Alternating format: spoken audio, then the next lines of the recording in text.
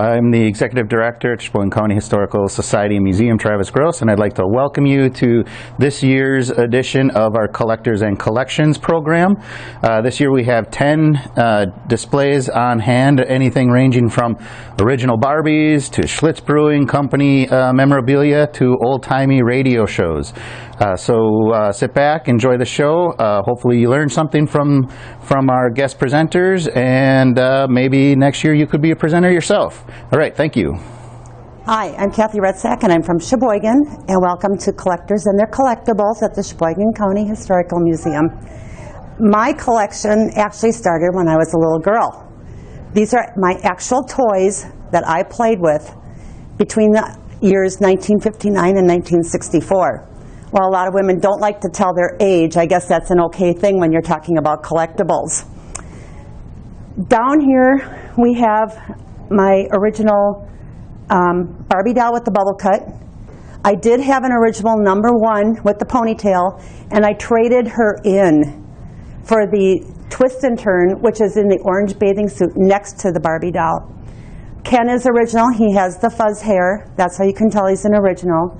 Alan is Midge's boyfriend. He came a little bit later in the series, and Midge is in the box. And then there's Skipper, who is Barbie's little sister. The clothing that I had with all the accessories are actually depicted in the yellow for Skipper, the blue for Ken, and the pink for Barbie. Barbie's outfits were designed by a designer. Uh, most of them have zippers, snaps, and working buttons. Again, my range is from 19, probably 1959 to about 1964. Um, as we move down in my display, I do have a couple other things that are a little bit unique to my collection. I have my original autograph book. It was from when I was in fourth grade. Um, there's some things that unfortunately cannot be pulled back from there, but it's kind of a fun piece to have. I have two of the comic books that came out. Um, they sold for 12 cents a piece. Two of her storybooks. And did you know, just as a point, that Barbie was an actual cheesehead? She was born in Willow, Wisconsin on March 9th. Um, I also have some of the cutouts. I don't, ha unfortunately, have the paper dolls themselves, but I do have some of their outfits. And I have a lot of the Hallmark ornaments. Uh, I have a picture of my tree which is done in all Barbie ornaments. The one in front, right here, is actually a signed Patricia Andrews piece of Hallmark. Patricia Andrews was the designer for most of the Hallmark ornaments uh, for the earlier issues. When I was a little girl, um, I had a jumper that was an aqua wool and my mother saved up a lot of money to get that jumper for me. And she had um, one of her friends make a jumper to match my Barbie doll, for my Barbie doll. And I have a picture of that with my Barbie doll there.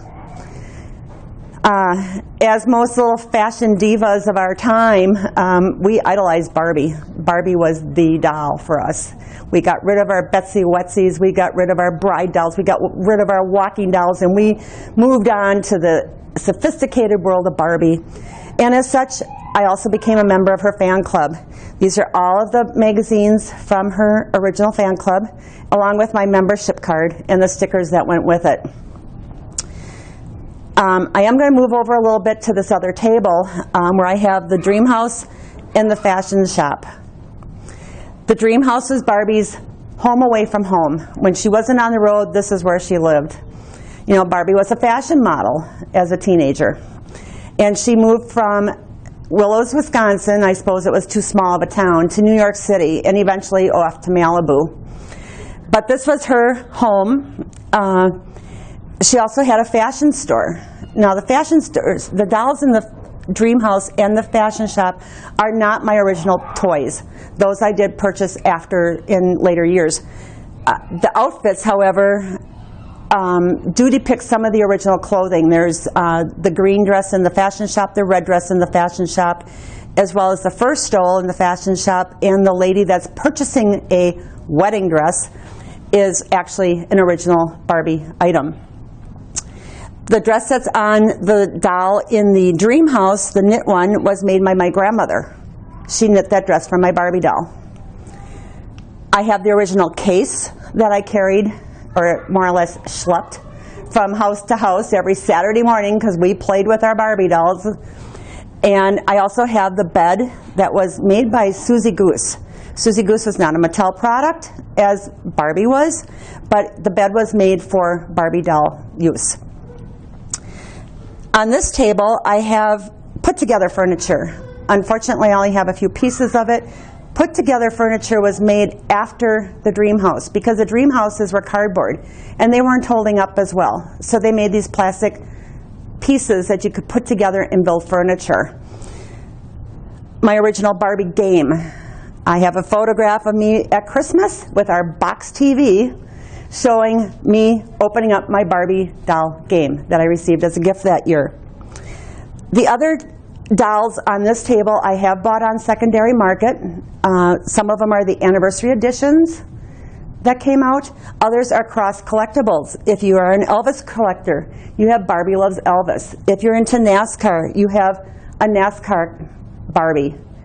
There's also a Harley Barbie, and of course, like I said, Barbie was a cheesehead, so we have a Wisconsin cheerleader. What not to do with some of your Barbies is trying to play with them over too hard. I do have a little bit of an example of that where one of my one of the dolls I picked up has cut hair. a lot of girls cut the hair on their Barbies as a rebellion to the long flowing ponytail that Barbie had. Um, another one is the jacket on one of the dolls is quite deteriorated, and that was from bad, from keeping it in an unsafe environment for collectibles. And the car is a little bit beat up. That car was actually given to me um, by a friend of mine, uh, and she thought that because I had a Barbie collection that I should have a car for Barbie. Uh, the other two dolls are actually bought again on secondary market. They're part of a collector's series. And that's what you're finding more and more now are the collectible series, the Christmas series, cross collectibles, and boxed up Barbies. And um, that's basically my collection. I love Barbie. I wanted to become a fashion designer because of Barbie. I didn't, but um, I'm working accounting. But uh, Barbie has been part of my life for like ever. And collecting and finding the pieces again in my basement or in boxes has been just a real joy. And I hope that Barbie brings joy to a lot of little girls going forward. Uh, Barbie sold for $3 originally, and there's, there's three Barbie sold every minute in the world. So Barbie is a huge, huge success. Hi, my name is Jessica Check, and my husband and Bradley and I um, are collectors of the vintage arcades here on display at the Sheboygan County Museum. Uh, we live in Green Bay and have been collecting for many years. So the exhibit has been up for about six months and is coming to an end this weekend, but it has been a really good experience working with everyone here at the museum. Um, our collection includes a lot of different games, kind of a variety. So uh, we have everything from very classic titles that you would see or that you may remember, like Frogger, Donkey Kong. There's a Q*bert on display here, to a little more unique games like Bubbles or Three Stooges that may not be as familiar. Uh, we also tried to bring in some newer titles. Uh, one that's recognizable is Fix It Felix. That was part of the, the Disney movie from a couple years back. So um, you know, there's a lot of unique characteristics of the games that we've tried to relay to the public. Um, some of them have very unique artwork or a unique story behind them. Technology during this time, during the late 70s, early 80s, was progressing very quickly. So uh, if you read some of the information on the games, it'll go through what makes that game special, how it was significant, what part or feature or technology was new and different at the time. So um, we've, you know, in addition to the games, had some collectibles on display to really capture just how big the arcade craze was during that time. It wasn't just the arcade games; it was lunchboxes and posters and stickers and patches and every everything you could think of. So we tried to really bring that feel and that vibe back to the museum to relay to the public. Um, if you would like to see more about the collection or read some information about it, we do maintain a Facebook page. It's called Silver Coin Arcade. think of like a quarter, Silver Coin Arcade. So you can find more information and pictures there. But we have really enjoyed our time at the museum and talking with the public and working with the community. Hi, I'm Bernie Markovich. My hobby is needlepoint. I have been doing this for 35 years.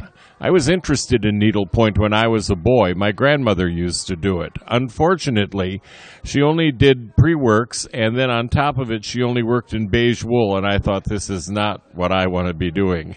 So I didn't. Uh, I didn't start then. Uh, my mother taught me how to embroider. That was fun for a while, but you know, pillowcases. How many of those can you make? So uh, about 35 years ago, the late Sarah Axel got me started with needlepoint. She said, You'd really like doing it. So, what I did is I bought a, uh, a canvas from her, the bell pull that's down on the end with the roses. And uh, that was the very first piece that I had done. Uh, I realized that in order for me to act actually activate this hobby, I needed to complete something. So that was the very first piece. The roses and the foliage on that bell pull were already worked in. I did the stripes, the background color, and uh, and I completed it in a reasonable length of time, and I have ever since been hooked on that. Uh, the biggest work that I have done are the six panels that start here. They're the creation. The six pieces uh, were kits that came from England. They were approximately $100 a piece, and it took me three years. I did two a year. The uh, combination with the six pieces is over 369,000 stitches. Uh, I think that it's probably going to become an altar frontal at my church for Advent uh, because it's based on the creation and that's the be- beginning of the church year.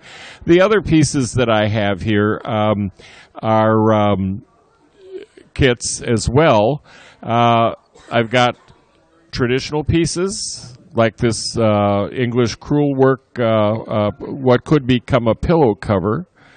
I've got bold paisley pieces.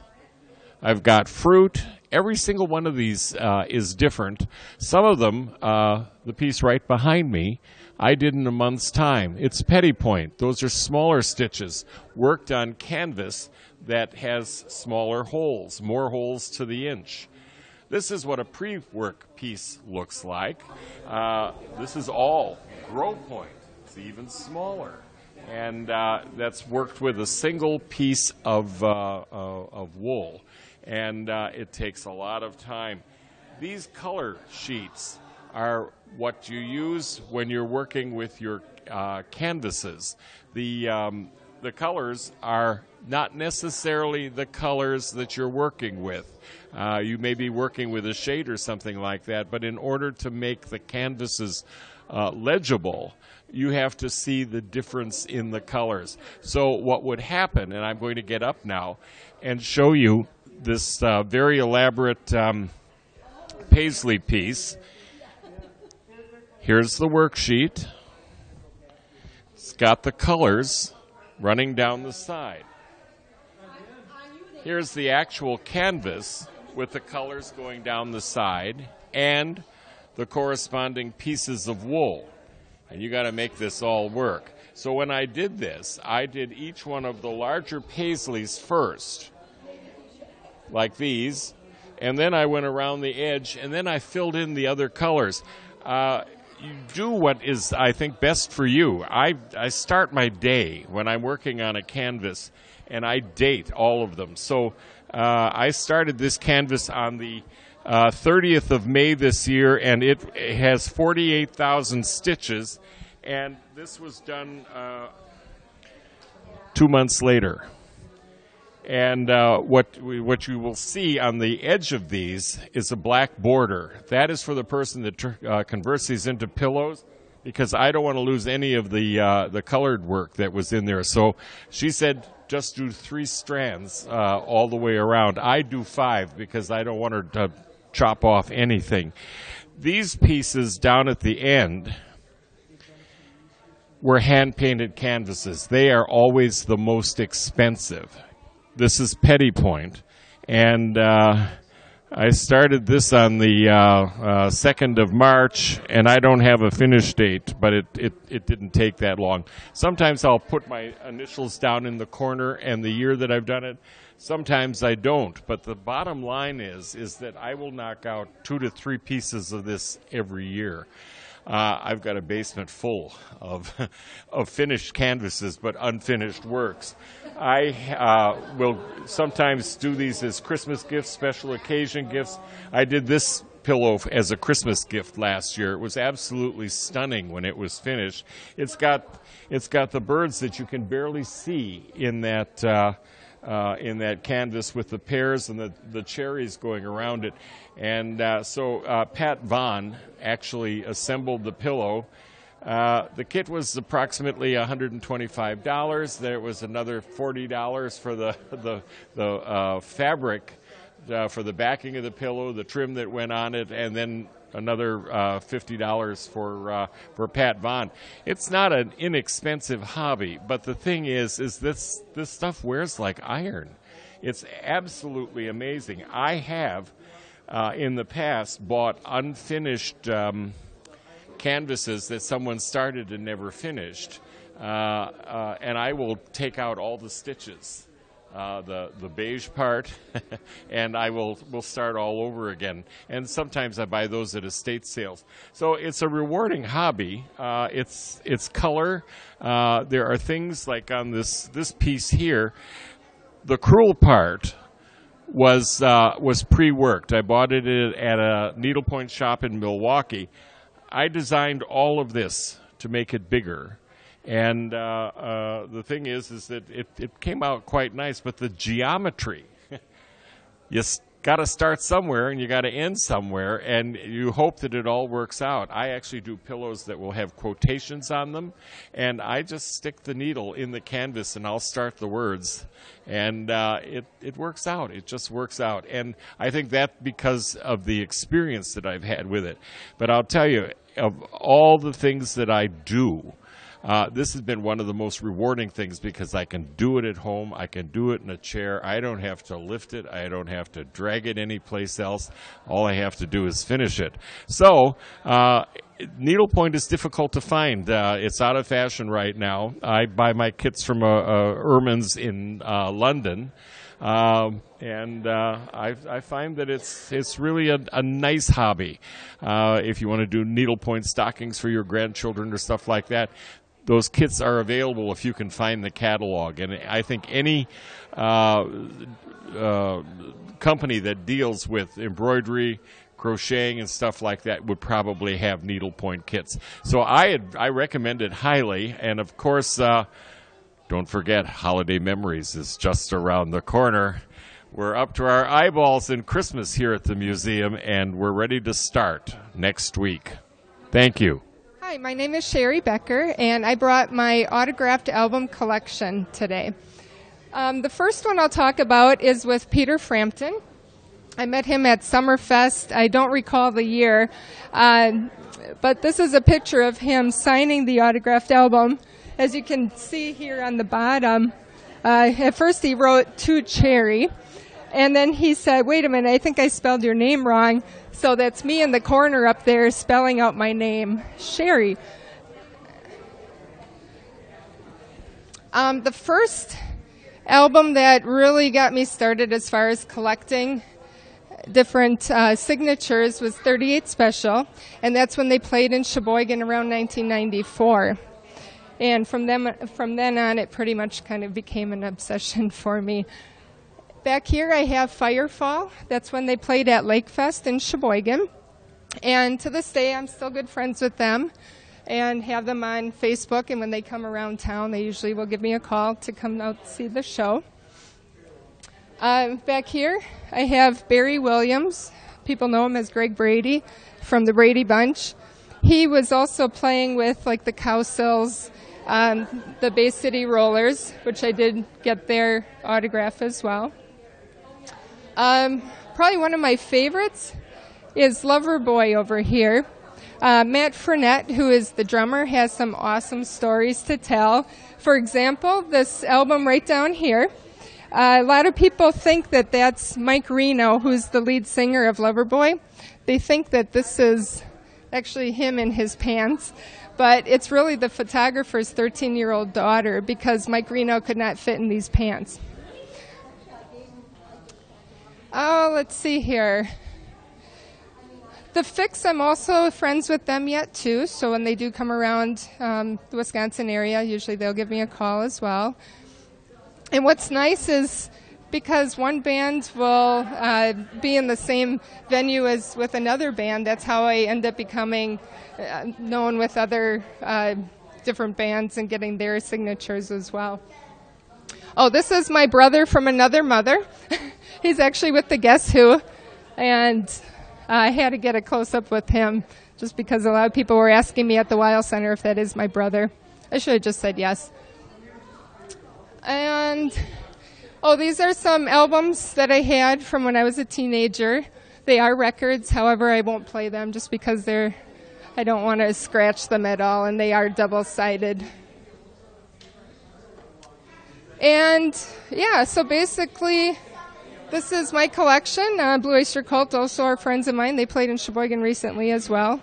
And oh, one of my oldest Stryper was one of my favorite bands back in the 80s. I was able to get their signatures as well, and then I met them again 15 years later, so that's when I had them sign the actual pictures. So, other than that, um, I have over 3,000 albums. These are all the ones that I have signed, and my goal is to get more. But thank you very much. Hey, my name is Mary Mines, and I've been interested in dolls for as long as I can remember. I have all of my childhood dolls thanks to my parents having kept them. And I started collecting seriously in 1987.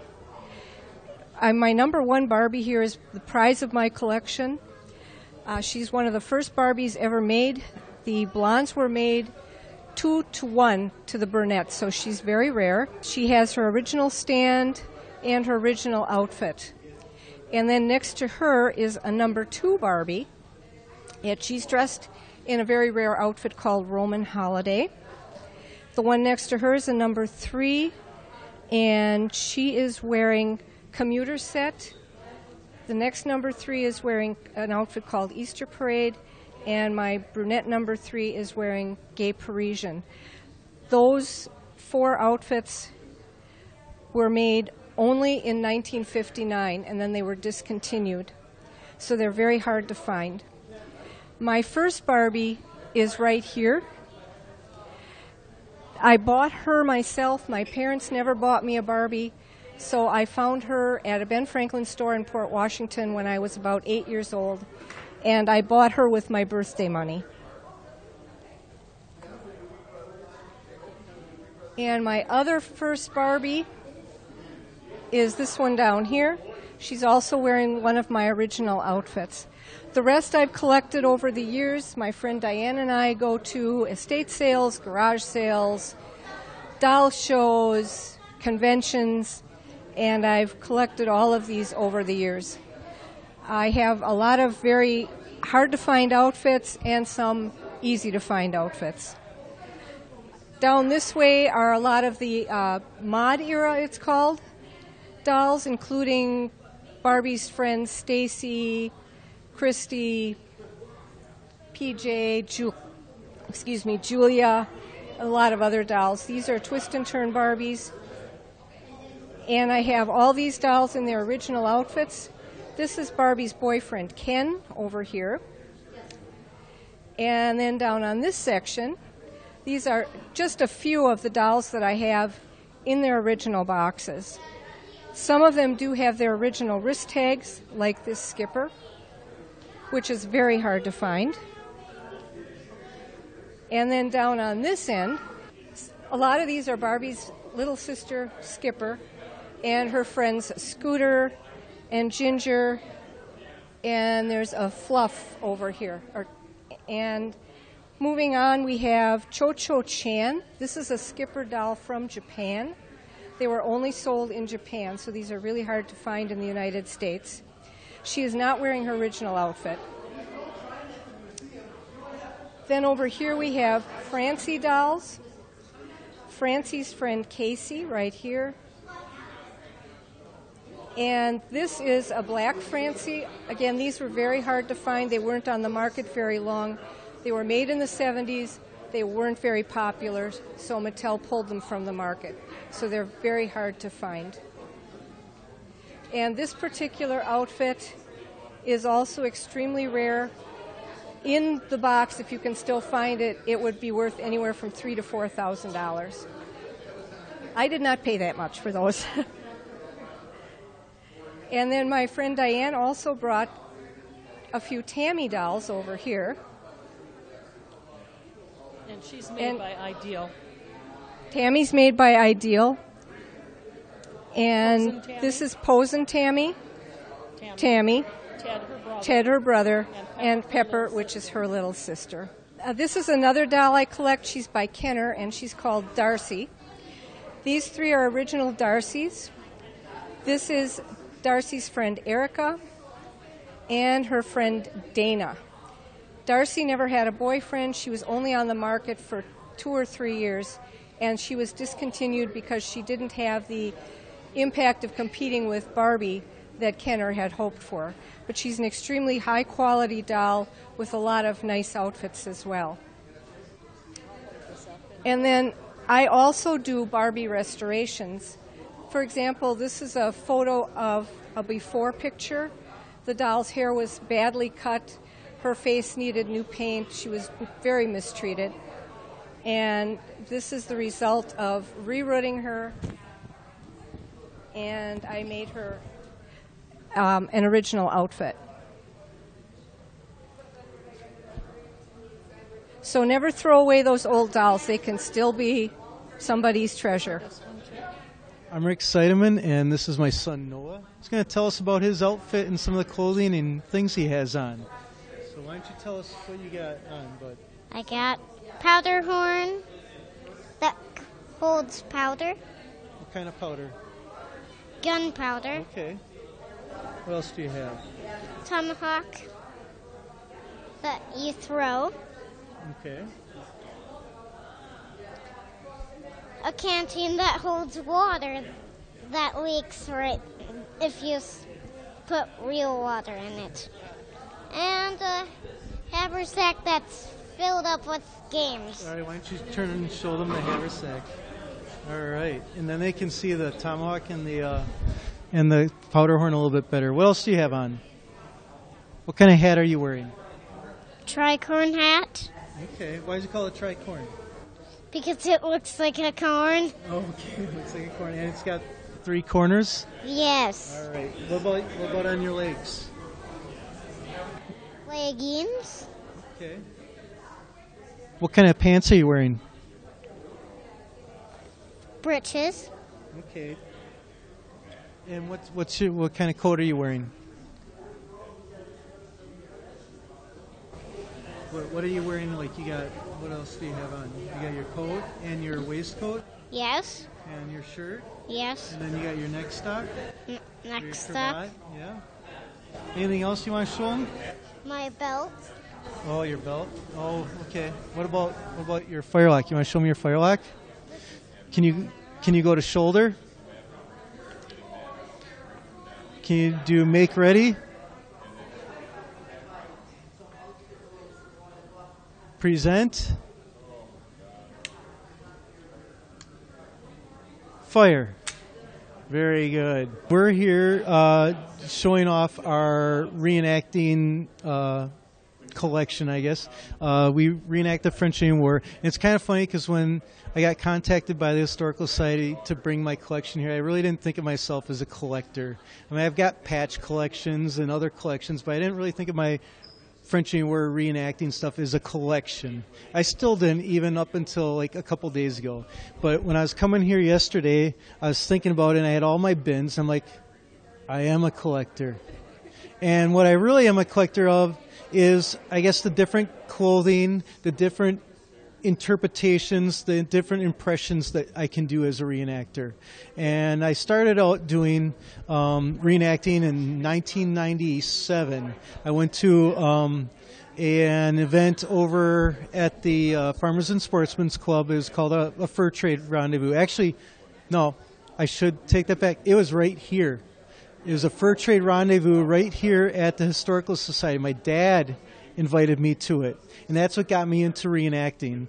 Uh, and so I started going to all these fur trade ones, and the one that got me into French and Indian War was at the Farmers and Sportsmen's Club. And ever since then, I started, uh, actually, I joined that group, and that was doing this impression over here, Rogers Rangers. They were the scouts uh, for the British Army during the French Indian War. They wore green uniforms, sometimes brown uniforms, gray uniforms, but uniforms that blended in the woods, and they fought the French and the Native Americans in their own style, a hit and run guerrilla type warfare.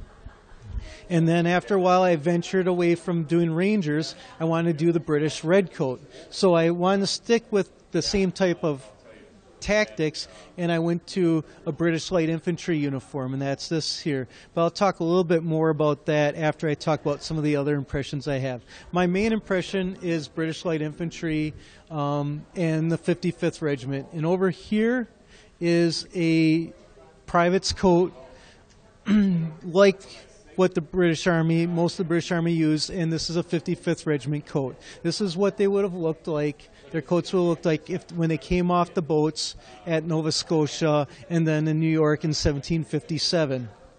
These long uh, coat tails, the bright yellow lace, the green facings, what we call facings, and that that identified this regiment as the 55th. These green facings and the yellow lace, and uh, they would be wearing a hat like this called a tricorn hat or or cocked hat, and their commander was a man named Lord George Augustus Viscount Howe, and he, when he got to New York, met Major Robert Rogers, who commanded the Rangers, and he went out on scouts with Robert Rogers, trying to find better tactics for the British Army to use, better clothing and equipment. And what he came up with in 1757 was a, a coat similar to this. It was cut down short, shorter than the Highland coats.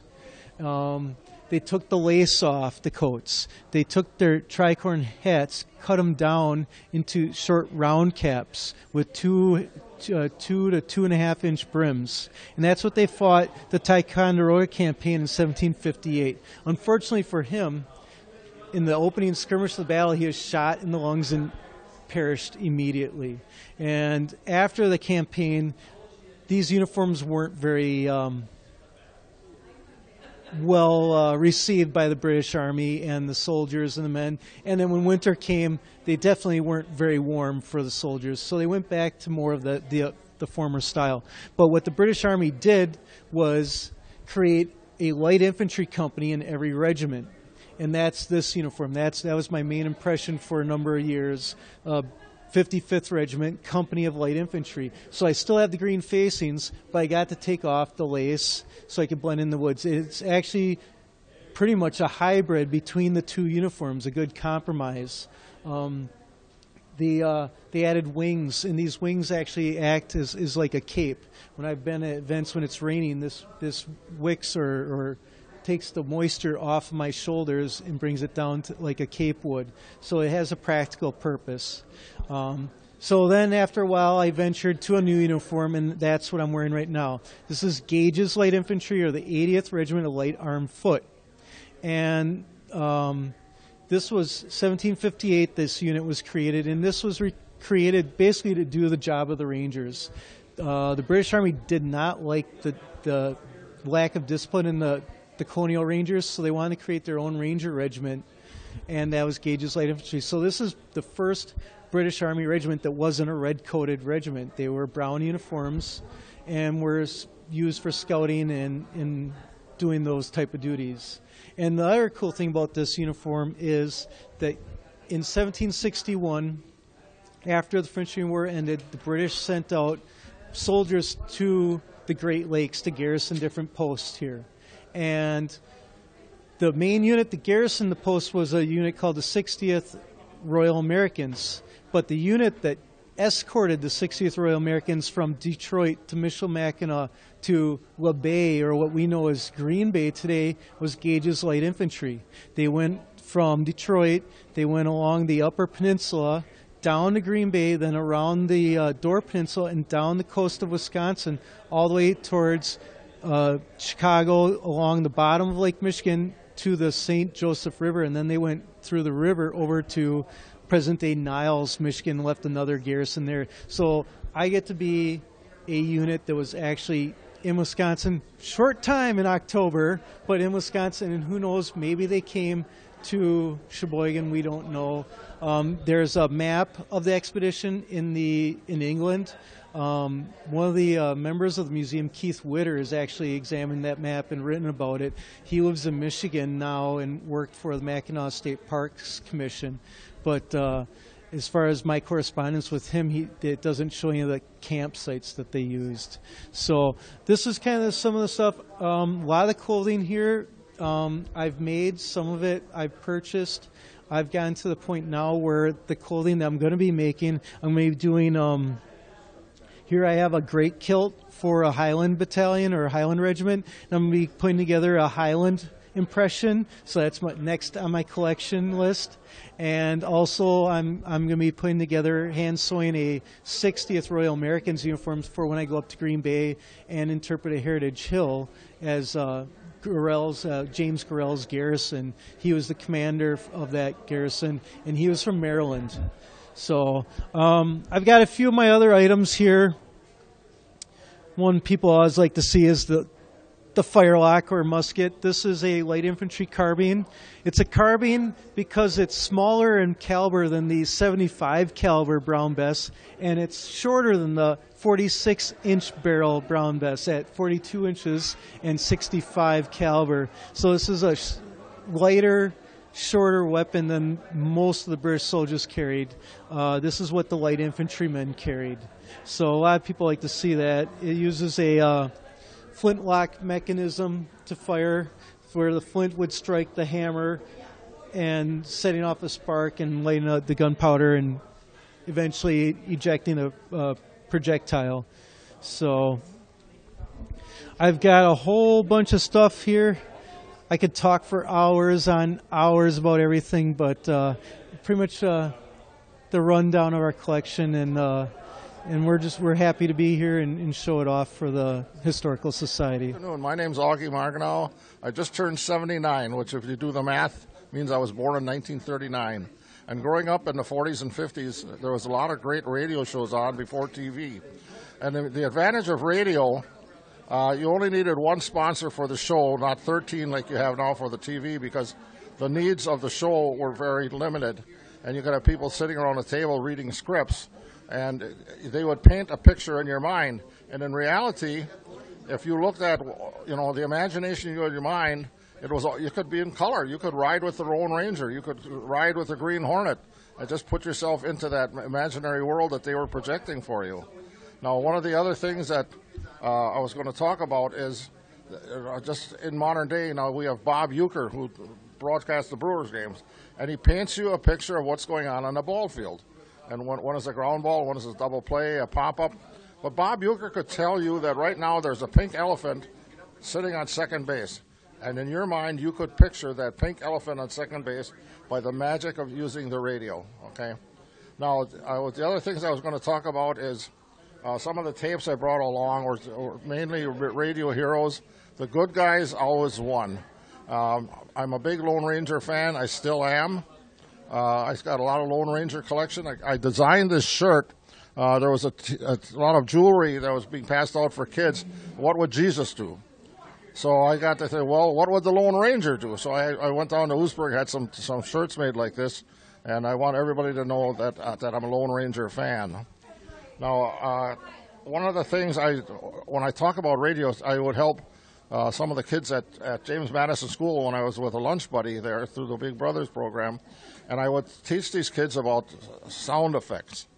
And I, I had two examples, and I'll, I'll, try to do one today for you. And it had one had to do with a western story where the cattle were disappearing, and he just didn't know what to do. So they sent out Sheriff Mike. Now, in the in the radio shows, you had to have a partner with you to talk so you could set the scenario, like we're going to that mountain, or let's camp by this stream. Uh, but and sometimes the, the, the main character only had his horse to talk to, so he would talk that they were tra- they were trailing this, looking for these cattle, and he said, well, you know, and they would have a sound effect. I'll see if I can pick it up here with these with the cups. Uh, I don't know if this. And in your mind, you had that picture of a horse, and then he'd, he'd slow the horse down and he'd tell the horse, Well, we're going to stop at this cabin in the woods. And he looked at, there the cabin is, but it's got a light on. And he said, Well, I shouldn't have a light on. I'm going to investigate. So he'd walk through the snow, and to make sound for snow, you take a box of cornstarch. I don't know if you can pick this up, but you squeeze it. I'll try it a little harder here.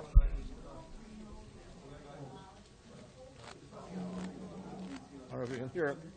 And that would be the sound going through the snow. And in your picture, he's walking through the snow. When he got to the cabin, inside the cabin now, there's a big hydraulic cylinder painted blue. There's steam coming out of it. There's a fire under it, and it's tied. There's a rope to it. And in your mind, that thing actually took place. And they would bring the cattle in the doors, and they were, what are they going to do with the cattle in that big hydraulic machine? Well, they put the ti cattle tail tied to the rope on the hydraulic machine, and then what they would do to, to make a sound effect, they, they say they started turning the cattle inside out. And to make that sound, they use this, this balloon. And that was supposed to be cow being turned inside out so they could take it and put it in a truck and, and leave the area. Now, that's one example.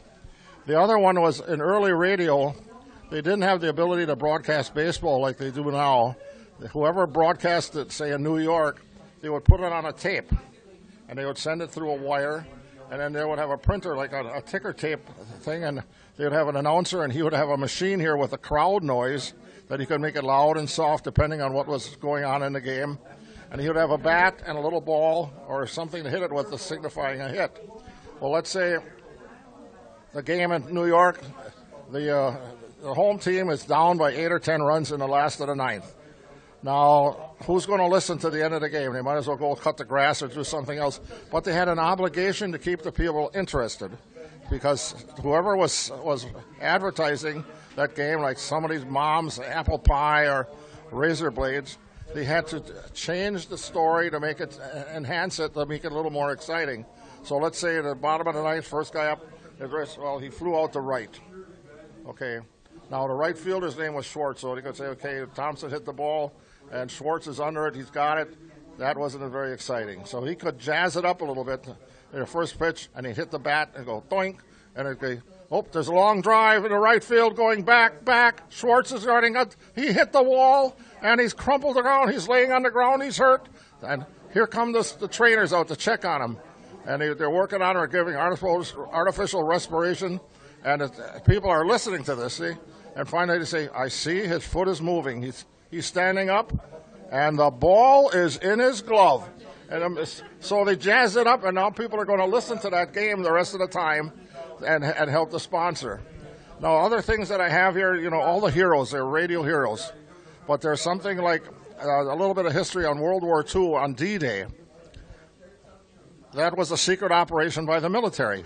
And so they, they didn't give out anything, but there were home broadcasts on what was going on in Germany because people were intercepting or listening to the German radio show, and they were telling people paratroopers landing here or there's landing in France and to do things. So got, we got the, the information for broadcast here in the States from the German radio itself. Now, a lot of those shows trans- transcribed or transformed themselves into television. But again, then when you got a, you got a big stage and a big set, whereas before it, it was imagination. And I think it helped us because as kids, uh, we could come home from school. It was dark outside at 4:30, and we could ride with the Lone Ranger or, or ride with the Green Hornet. And one of the things in, in school, we would learn history of the United States. But if you if you listen to the to the radio shows, you find out the Lone Ranger's real name was was John, and he, uh, let's see, John Reid. And when he we were ambushed by the Cavendish gang, and everybody was killed except him, Tonto uh, found him and says, "You Lone Ranger now." So now he was the Lone Ranger.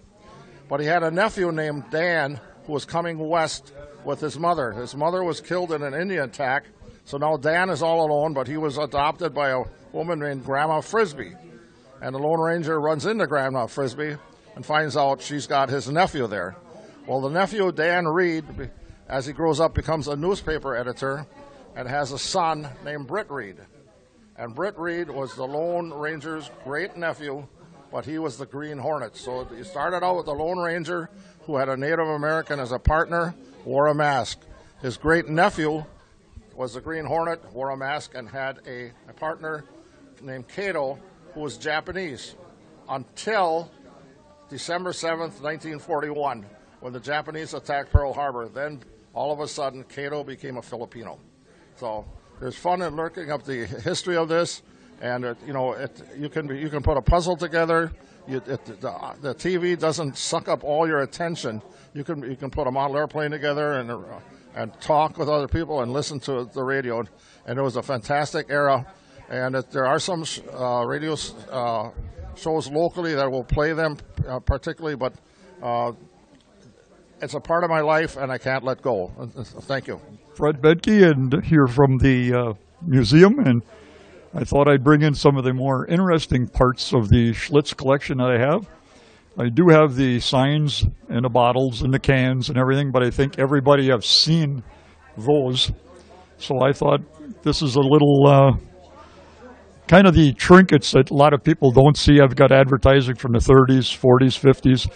Uh, some of the stuff in the case, I've got badges, security badges. I've got badges for the employees. Uh, Schlitz Dictionary, and they also Schlitz made a atlas, and the reason they made their atlas is that they could show everybody where they had all their plants. They even had a plant in Pakistan at one time. But kind of as we kind of go down through the table, I've got the the old steel can opener from the from the uh, early '60s. Various tap handles, a lot of different advertising. But this is some stuff now that people don't see. It's a Schlitz coffee maker. It's a Schlitz popcorn maker. A couple of little interesting robot trinkets that are made out of Schlitz cans. More advertising. We've got a Schlitz can from Pakistan. Cigarette lighter. There's a bunch of lighters in the cabinet. The anniversary Stein for 125th anniversary. And if you were a really good distributor, then they they would give you the uh, it's actually a globe, but it was brandy in there. Does it never? They never said who made the brandy, but you had to be a really good distributor to get that. This is a big stein that was made into a, a bank. Erlanger, that was one of their premium beers that they decided that they were going to try and make a premium beer, but they decided they, they went back to just a Schlitz. One of the original tap tappers. Now this doesn't doesn't go on the bottle; it actually goes in the bar, and it's right right around 1900s.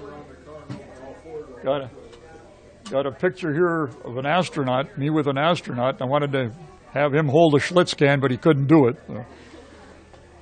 Uh, a couple different pictures, more advertising stuff, a lot of different steins, and again, the majority of the steins and stuff in bottles I didn't bring along. We've got blob top bottles, pre, this, this is probably like 1880. And we've got other bottles here with the, with the stopper still in them. Again, 1800s.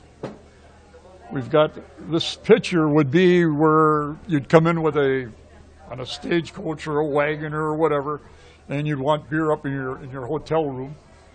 That's how they'd bring it up. The uh, anniversary glass from the Chicago fire. And as a matter of fact, the Chicago fire, when they did have the Chicago fire, Joseph Schlitz says, I want you to take every wagon we got and fill it up with beer and water, take it to Chicago. And they, I don't know how many, how much beer they did truck, but a lot of beer and a lot of water. And when Chicago started building itself back up, that's how the, the they got the slogan, the beer that made Milwaukee famous. And that's, that's how they really got their foothold in, in Illinois. Uh, Schlitz lava lamp, and all kinds of advertising. But again, it's uh, this is the stuff that a lot of the people don't see. The, the Schlitz uniform, all the different shirts, more, and I have no idea what language this is. but uh, we kind of put it next to each other. You can see the difference. But there's a quilt, there's a wastebasket, there's a, a, hook, a hooking rug, different caps. This particular Hawaiian shirt is a real Hawaiian shirt, and that Schlitz made when they opened their plant in Hawaii. They had all of these Schlitz, uh, Hawaiian shirts made for Schlitz. Oh. So it is an original Hawaiian shirt. Bratwurst days, 1962. Everybody, anybody that knows Sheboygan remembers Bratwurst days. Probably not the end of it, but the beginning of the day. But, uh, so yeah, like I say, everything else is just trinkets that people normally wouldn't see, and I thought, well, I'll bring it along and share.